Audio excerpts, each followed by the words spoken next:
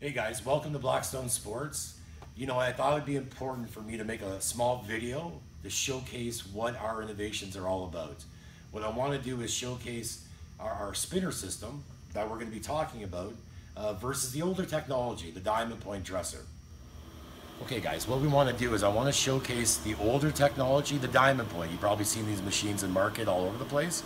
Um, so what I'm going to do is I'm going to dress the wheel with a half an inch and I've already found the line.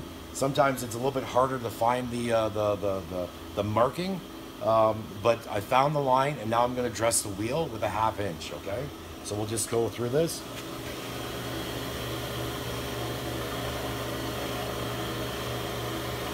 Let's get a little bit closer. I haven't done this for a while, but uh, be patient with me. We go. And I'm going to turn the quill. And once I have reached the whole circumference of that wheel from top to bottom, I'm going to have that wheel perfectly dressed. Okay? So it takes, there's an art form to this, and it does take a little bit of time. Okay? So right there, I'm now dressed to a perfect half inch guys. Now the process of dressing the wheel properly with a diamond point took us about 40 to 50 seconds. Okay, maybe quickened up uh, with a person that's used it more often, but I say a good 40 seconds is the proper uh, timing.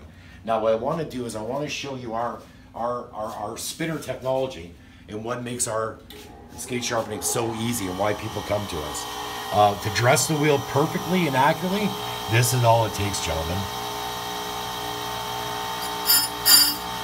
That wheel's now perfectly formed and we're ready to sharpen skates.